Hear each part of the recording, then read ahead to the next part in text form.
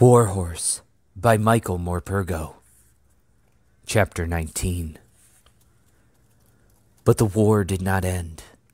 Instead, it seemed to move ever closer to us, and we heard once again the ominous rumble of gunfire. My convalescence was almost over now, and though still weak from my illness, I was already being used for light work around the veterinary hospital. I worked in a team of two hauling hay and feed from the nearest station, or pulling the manure cart around the yard. I felt fresh and eager for work once more.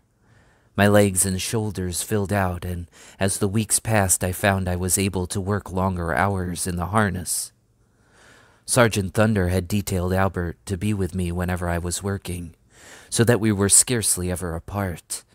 But from time to time, Albert, like all the veterinary orderlies, would be dispatched to the front with the veterinary wagon to bring back the latest horse casualties, and then I would pine and fret, my head over the stable door, until I heard the echoing rumble of the wheels on the cobbles, and saw his cheery wave as he came in under the archway and into the yard. In time, I, too, went back to the war, back to the front line, back to the whine and roar of the shells that I had hoped I had left behind me forever. Fully recovered now, and the pride of Major Martin and his veterinary unit, I was often used as the lead horse in the tandem team that hauled the veterinary wagon back and forth to the front. But Albert was always with me, and so I was never afraid of the guns any more. Like Topthorn before him, he seemed to sense that I needed a continual reminder that he was with me and protecting me. His soft, gentle voice, his songs, and the whistling tunes held me steady as the shells came down. All the way there and back, he would be talking to me to reassure me. Sometimes it would be of the war. David says the Germans are about finished, he said, humming one summer's day as we passed line upon line of infantry and cavalry going up to the front line. We were carrying an exhausted gray mare a water carrier that had been rescued from the mud at the front.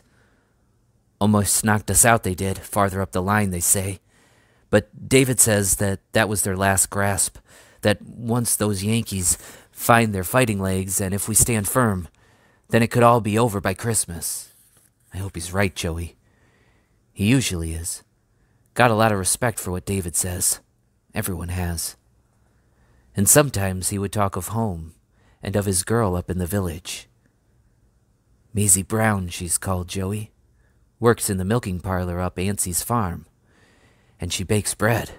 Oh, Joey, she bakes bread like you've never tasted before, and even Mother says her pastries are the, the tastiest in the parish. Father says she's too good for me, but he doesn't mean it. He says it's to please me, and she's got eyes, eyes as blue as cornflowers hair as gold as ripe corn, and her skin smells like honeysuckle, except when she first comes out of the dairy. I keep away from her then. I've told her all about you, Joey, and she was the only one, the only one that said I was right to come over here and find you. She didn't want me to go, don't think that. Cried her heart out at the station when I left, so she must love me a little, right? Come on, you old silly, you. Say something. That's the only thing I've got against you, Joey. You're the best listener I've ever known, but I never know what the devil you're thinking. You just blink your eyes and wiggle those ears of yours from east to west and south to north. I wish you could talk, Joey. I really do. Then one evening there was terrible news from the front. News that Albert's friend David had been killed, along with the two horses that were hauling the veterinary wagon that day. A stray shell, Albert told me as he brought in the straw for my stable. That's what they said it was. One stray shell out of nowhere and he's gone. I'll miss him, Joey. We will both miss him, won't we? And he sat down in the straw in the corner of the stable. You know what he was, Joey? Before the war? He had a fruit cart in London, outside Covent Garden. Thought the world of you, Joey told me so often enough. And he looked after me, Joey, like a brother he was to me. Twenty years old. He had his whole life ahead of him, all wasted now because of one stray shell. He always told me, Joey, he'd say, At least if I go, there'll be no one that'll miss me. Only my cart. And I can't take that with me, and that's a pity. He was proud of his cart. Showed me a photo of himself standing by it. All painted it was, and piled high with fruit, and he was standing there with a smile like a banana spread across his face. He looked up at me and brushed the tears from his cheeks. He spoke now through gritted teeth. There's just you and me left now, Joey. And I tell you, we're going to get home. Both of us. I'm going to ring that tenor bell again in the church. I'm going to eat my Maisie's bread and pastries, and I'm going to ride you down by the river again. David always said he was somehow sure that I'd get home. And he was right. I'm going to make him right. When the end of the war did come, it came swiftly, almost unexpectedly, it seemed, to the men around me. There was little joy, little celebration of victory, only a sense of profound relief that at last it was finished and done with.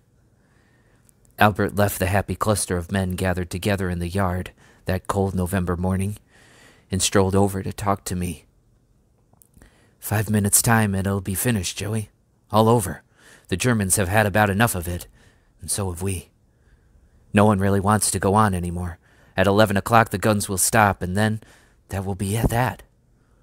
Only wish that David could have been here to see it. Since David's death, Albert had not been himself. I had not seen him smile or joke, and he often fell into prolonged brooding silences when he was with me. There was no more singing, no more whistling. I tried all that I could to comfort him, resting my head on his shoulder and nickering gently to him, but he seemed quite inconsolable.